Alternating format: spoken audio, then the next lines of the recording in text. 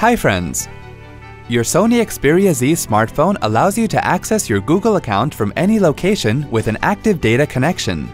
Here's how you can add your Google account to your smartphone. Screen transitions shown here are a bit different from the real-time transitions on the device screen.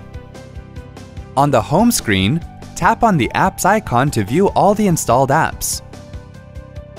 Tap on Settings. Scroll to the Account section and then tap on Add Account. Tap on Google. You can follow the registration wizard to create a Google account by tapping on New or sign in if you already have an account. To sign in, tap on Existing. Enter your Google email address and password and then tap on the next arrow key.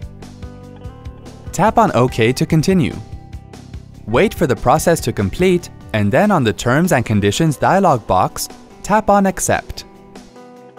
On the Setup Payment Info page, tap on Skip. Tap on Next arrow key to complete the setup process. See? That wasn't hard at all. Thanks for watching. To check out more related tech videos, click here. If you have any query or want to share something with us, click here.